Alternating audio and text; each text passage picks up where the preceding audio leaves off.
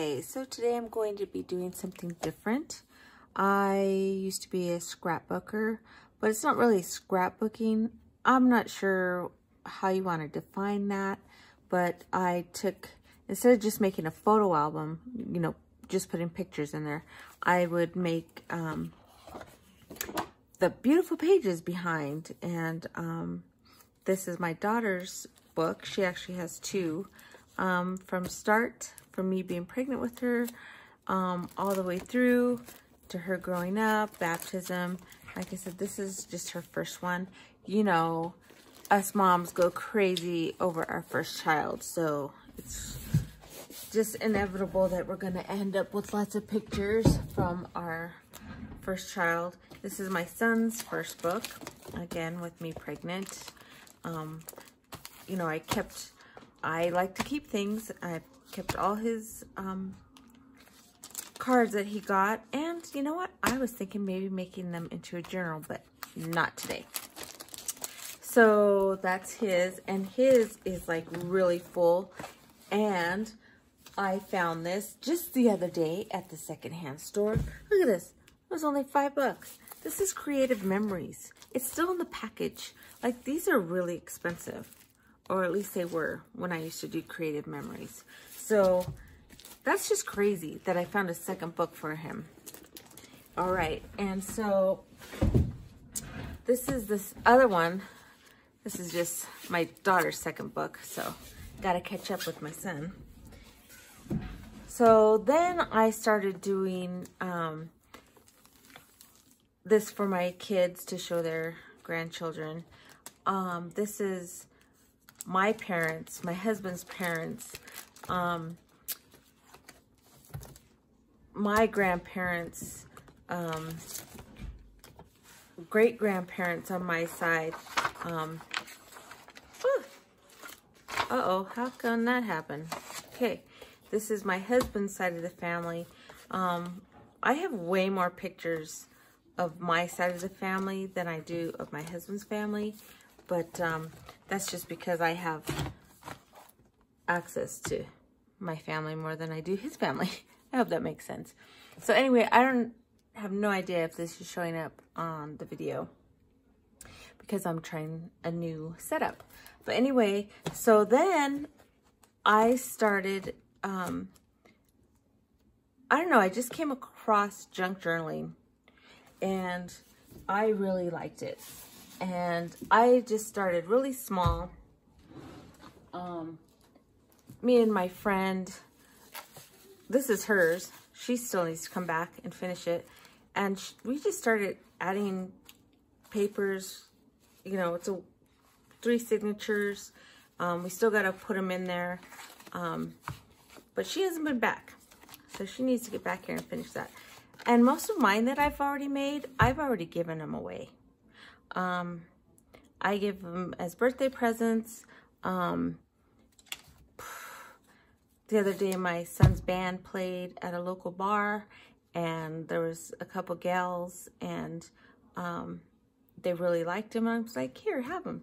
So, yeah. Um, here's another one that I'm trying to work on. Um, just trying different things just by gluing. Um, I kind of sewed it before I glued it on. So I'm working on that one.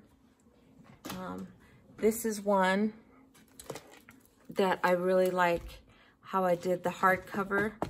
And, um, and it's kind of themed. I found a um, book of my grandmother's that I really loved. She used to minister to the um, the Dakotas, in the Dakotas, minister.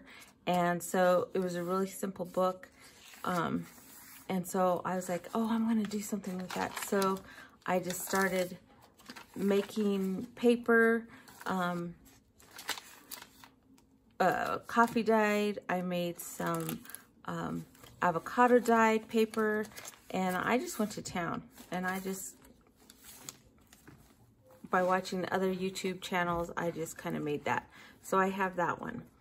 So my other one that I'm probably going to keep forever because it this was my second one hardcover that I made.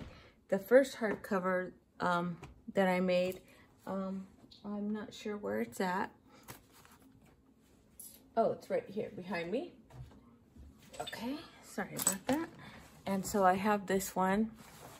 Um, and I really like the way this one came out. I had um, different fabrics and I just went ahead and put that together on a hard cover.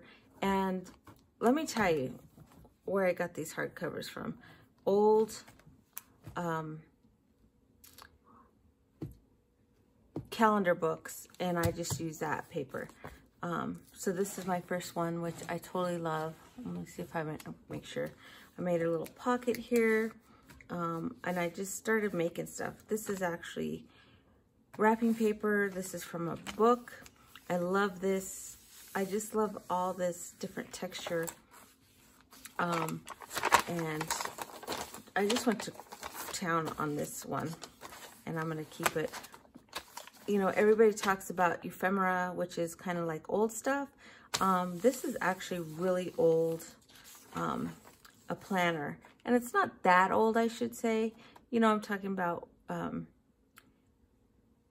50s, 60s. So I, I know that sounds really bad saying that's really old. But this was in our family. So I'm using it. And um, music paper.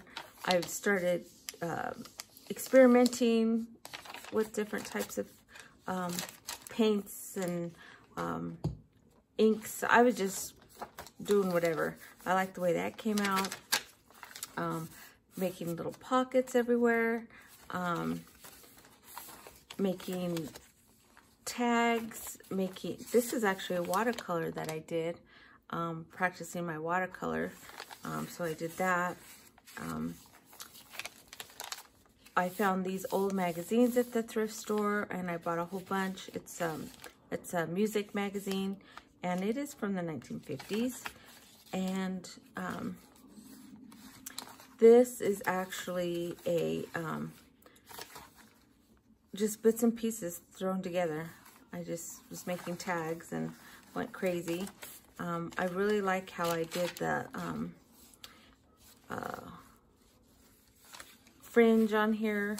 And I actually made a mistake on this. Maybe that's why I'm never going to give this book away. Um, but I put this upside down. So be careful how you're putting this in.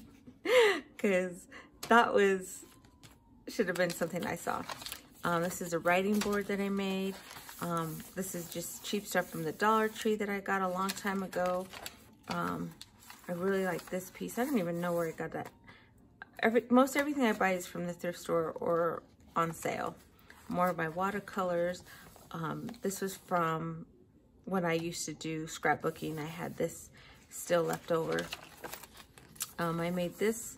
I just added some charms from my daughter's old jewelry. Um, you know, just adding stuff, Carpe Diem, that I found from a book or um, I don't even remember. Maybe it's from a calendar. And just experimenting. Just see how I put it upside down, but that's all right. Um, I made a bookmark with the, I just put this little thing back here and you can use these, you know, to mark your spot in your book. Um, this was from a card and um, I really liked it because I love glittery stuff. Um, these are stickers that came from a book. My daughter works at a bookstore, so it's wonderful. She gets me all kinds of wonderful um, books all the time. And then just a pocket in the back. And I just put two buttons through this buttonhole thing and um, made it. So that's that one. So I really wanted to get started um, making a uh, another type of scrapbook that I'm going to name somebody because um, I got it from her channel and she's awesome. And she's one of the main person that I watch all the time. And um, okay, I think her first name is Pam, but it's a paper outpost and she is just wonderful.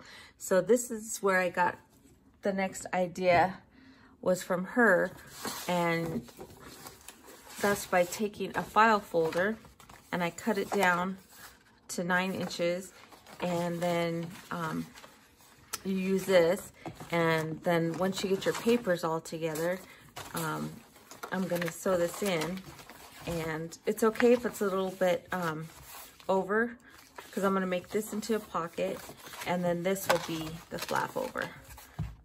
So I actually have one right here and I just have some sari silk um, in here and I made this one. And this is a paper pack that I got a while back ago because I really liked it because I was going to use it for the scrapbook that I'm making with all the grandparents. Um, so that's this one. And I just sewed in, I only have two signatures and I sewed those in.